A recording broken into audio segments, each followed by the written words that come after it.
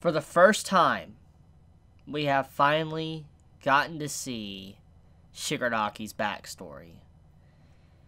What a powerful chapter. There's a lot to be gained from this chapter, and there's a lot that sets up for the end game of the story, because once again, as a reminder, Shigaraki is the final villain. He will be the final villain. He has always been the nemesis to Izuku. And seeing his backstory and his goal, it may not seem like anything fancy, but it does have a lot of meaning, which I'm going to get into. So, before I get into Shigaraki and explain his backstory, let's look at Izuku, what he stands for, to kind of pair it up to Shigaraki. Izuku is an individual that wants to be the number one hero for he can save people. That's his number one goal. He wants to save people. He wants to just be a hero through and through. That's it. He just wants to save people, and that's it. He doesn't want nothing else out of it. He may want to be the number one hero, but he wants to do that because he wants to be able to save people. Okay. That is Izuku's goal. And when you really think about Izuku's goal, it's nothing crazy. It's nothing entirely original. It's nothing that blows anyone's minds. I mean, we've seen his his development and how much struggling he's had to go through just to get where he's at, but overall his objective, his goal is very simplistic. He wants to save people. Shigaraki has always been the exact opposite. Anytime Izuku is developing in one direction, Shigaraki is developing in the other direction.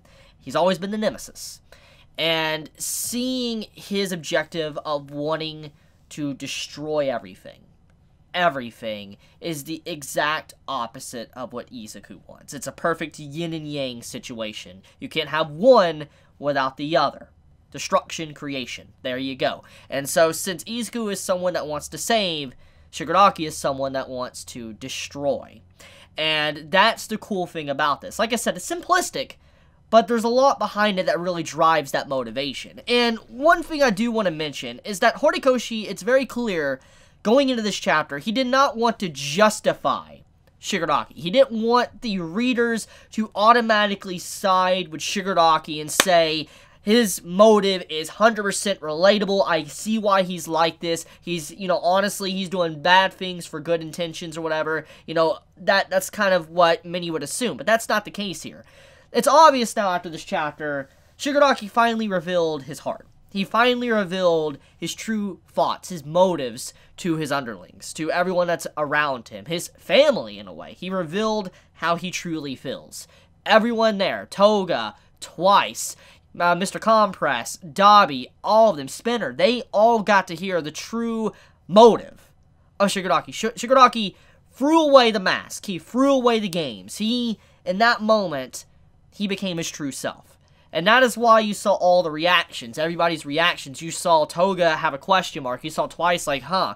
And then you saw Mr. Compress in shock. You saw Spinner just wide-eyed. And when you look at all of the reactions, it makes sense, because this is the first time that they've really ever gotten to see Shigaraki probably really talk about himself, talk about his past. It's probably not something he's really ever got down to talk about. And now seeing that interaction, they see who they're truly working for. They're no longer working for someone that is obviously following Stain's ideology. That's not it. Shigaraki finally creeped out of the shadows and is like, I'm not living under Stain's name anymore. I'm not living under his name. I'm not using his ideology to further myself. I will further myself because of my own goals, and you will know my goals, and if you want to work with me, you'll work with me. That's pretty much what he said. And that is why this is very significant for his character. He just developed in a way to where he's not lying. But number two, let's look at why he wants to shatter the world. Now, like I said, at first glance, it's simple, because destroying the world, it's a simple thing that villains do. But why is that? Why does he want to do it? Well, his family is a big thing, his past. He lost all of his family. And through the brief little fragmented flashback, we get some pieces. Not the full picture, and not clear enough to get the full context of the story, but there is a little bit of pieces to kind of grasp some of the events that took place. And so I'm going to kind of break them down. So, to begin the flashbacks, like the fragmented memories, you see a puppy, a dog. And you can assume that this puppy slash dog was most likely Shigaraki's and he really cherished his puppy. And looking at his overall age, his height, and all that, he was probably at the age to when his quirk finally activated. And most likely, a boy his age, you know, he most likely was happy and he wanted to play with the puppy. He's like, oh, cute puppy. And he wanted to play with the puppy, pet it or whatever. And as we know, Shigaraki's quirk, it activates thanks to his fingers. All five fingers wrapping up on someone. When it touches them, it starts to disintegrate them. And so, most likely, in that very moment, a very tragic moment, his quirk activated. It finally came and matured, and he disintegrated the puppy. Right after that, the next fragmented memory, you see destruction, like disintegrated mess on the ground, and when you see someone's legs running over. Now, we don't really know how much time frame has shifted from the dog scene to that, but if I had to assume if it's going in a proper order from one scene to the next, then most likely the dog was the dis disintegrated parts on the ground, the person running over carries over into the next picture where you see something else disintegrating, which most likely is a hand. You see a dude reaching down, you see the sleeve of like a suit or whatever, and and a hand that looks like a hand disintegrating, which basically represents that someone ran over to Shigaraki, got disintegrated after the dog got disintegrated. And when you see in the background this little girl, which you don't really know who this little girl is. You don't know if this little girl is Shigaraki's sister, or if it's a friend, or just a random person. It's not clarified at all. But we do get to see a clear picture on the way the girl looks. And when you see her instantly in that moment, we don't know her fate. We don't know if she died because when you look at the hands, the individual hands that was displayed by the doctor, none of them are the size of that little girl's hands. None of them. So, looking at that, that little girl most likely if she is dead, she's not a part of those hands, which makes me believe that is not Shigaraki's family, which I want to get into all the hands and stuff in a second. But if that is, you know, someone that did get disintegrated, it's not Shigaraki's family. So it means that the dog disintegrating to the person running over to the little girl, they might not have been Shigaraki's family. Maybe the little girl, but maybe the dude that ran over wasn't. Or the dude that did run over was, and the little girl wasn't. Whatever the case may be, the little girl is a big mystery. Carrying over into the next scene after that, you see um, like a person, the back of their head, you see they're looking away, and it looks like it's inside of a room. I'm assuming cooking or whatever. And then you see the eye look and all that. And you see, like, I'm assuming the father looking at Shigaraki, and, like, basically he's like, you monster or whatever. And then the next scene, you see the arrow with blood on it.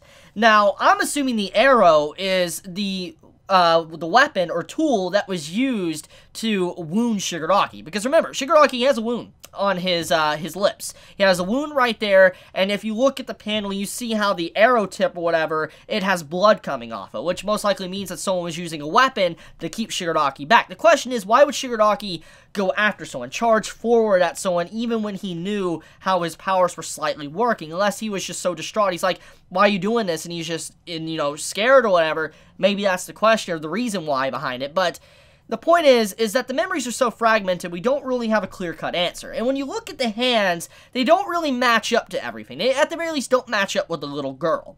And if that is Shigaraki's sister, there's potential possibility that Shigaraki's sister could be alive.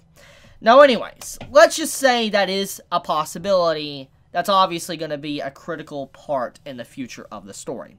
The character, if Shigaraki's family in some case or shape or form is alive, that would mean that Shigaraki will eventually come in contact with her, which could maybe redeem him, or he might have her join him, or he might kill her. One or the other. Now, big part about this I do want to mention is the hands. The hands that the doctors displayed are, are very convenient. And what I mean by that is, it's a little crucial detail that I think that Horikoshi is purposely doing here. And because of how fragmented the memories are, there's so many question marks about this. The doctor conveniently bringing in the hands, all the hands of Shigaraki's apparent victims, his family, is questionable. Because everything we know from Shigaraki's quirk, it disintegrates everything. Like, let's look at Overhaul. When Shigaraki grabbed Overhaul's arm or whatever, he started to disintegrate. His entire arm did, even his hand. And it had to be cut off. It basically meant in that moment that his hand would not be kept there. So everything we know from Shigaraki's quirk, there's no way that the hands would be intact. In fact, when you think about it, from the fragmented panels after the dog scene, and when you see the dude running over, and when you see the apparent disintegration of the hand slash arm, that once again goes to prove or show something against what the doctor gave to Shigaraki, all of those hands, is that Shigaraki's quirk disintegrates everything. And so for the hands to be miraculously okay doesn't make sense in that context. The only way that would make sense is that if All for One was there that moment to sever all the hands, or those hands are fake in some way, or there's more to this where Overhaul has manipulated Shigaraki eh, to believe that that is his family, but it really isn't, it's someone else. There's just so many questions I have, but it's obvious that from the fragmented memories, there's more to the story than lets on, and that most likely all for one, knowing how he is as an individual, probably set up that that interaction to make Shigaraki do that, and might have somehow manipulated him to move against his will, or might have in some case, shape, or form had it to where Shigaraki, you know, uh, just he didn't do it, but then the memories got implanted to seem like he did, or he was given a quirk that he didn't know he had. I mean, there, there's a lot of variables here, but I just, I feel like the way the scene goes out of its way to show the hands are intact, and then we see a little girl, and then there's no little girl hands, but then you see also a hand get disintegrated. There's just, there's too many questions, too many questions about that that does not make sense. So that needs to be explained, and I feel like if more is found out, I think when Shigaraki eventually does maybe remember he might set his eyes on All for One. Now, hear me out. Yes, All for One is his master. Okay. Yes, he has a connection. And I think at one point, if Shigaraki continues, there's no coming back. For instance, he's already pretty much at that point. There's no coming back to what's happened in his life. And so even if he found out the truth that he was manipulated, he probably still would say it's the Hero Society's fault for even allowing this to happen in the first place. So in the grand scheme of things, Shigaraki is probably still too far gone to be saved, even if he found out the truth that he was being manipulated by All for One. But what would happen then? Let's say he does find out, and Shigaraki obviously does care about his family. He does. Because he's now using his hands that are on him as mementos to carry himself to move forward, his drive, his passion.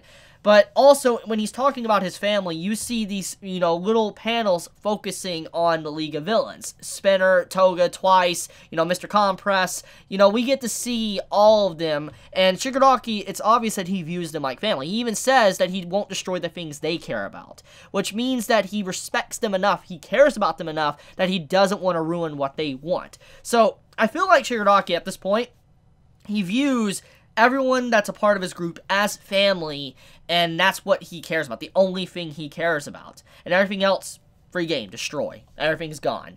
So yeah, I, I think because of everything, how far gone he is, even if he found out the truth, he wouldn't change. But I think he would probably try to kill all for one and still stay a villain. And it would really fit in with Horikoshi's writing style. Hear me out. The reason why I think that is because think about what fan that Horikoshi's at, like how much of a fan he is of a certain series. He's a fan of Star Wars. Now, if you know anything about Star Wars, you know about the Sith. And when it comes to the Sith, the Sith, when they're trying to get someone into the dark side, like they have a pupil, the pupil eventually rises up and takes down the Sith Lord, their master, their mentor. That's a big moment for a Sith to truly become a Sith. So I feel like how much of a fan Horikoshi is of Star Wars in general and how many references he's made to it, there's a possibility Shigaraki will eventually find out the truth, and to finally concrete that he's better than All for One, he will take him out and end him, and he will position himself as the king of the villains, basically. I feel like something like that will happen. It just, it makes sense from a storytelling perspective and how Horikoshi's setting this up. Which, by the way, I do want to mention also the little fragmented scenes when it shows that he wants to destroy everything. On the bottom left, you see a dude that's turned away. And at first glance, it looks like All for One. But then I was like, that doesn't actually look like All for One. And I'm just like, who does that look like? And it, I was just, it took me a. I was staring at it for a very long time. But the more and more I looked at that little picture on the bottom left, it looked like Destro. Does anyone else see that? Am I wrong there? If you if you could point out that maybe I'm miss I'm not seeing things right, but it looks like Destro. In this case, maybe Destro is alive. Which would really complicate this arc even more now. But okay, last few things to talk about before I wrap up this video. Johnny. Poor Johnny.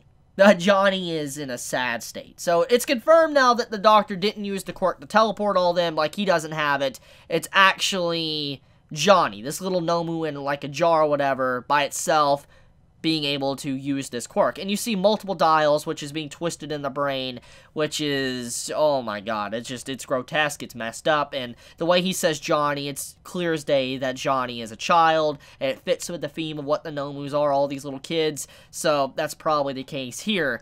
And also, another thing too, is that at the end, Shigaraki he finally has to face G uh, Gigan and take him out. Gigan has to be taken out, and that's the only way the Doctor will fully follow Shigaraki and allow him to use everything he has to offer. So Shigaraki has to make Gigan submit. And will he submit is the question. Now, another big thing, too, is the final panel, which shows the CEO and some blob on the ground. It's obvious the blob is Gigan. Gigan is probably dead. It was obvious going in that he was probably going to die.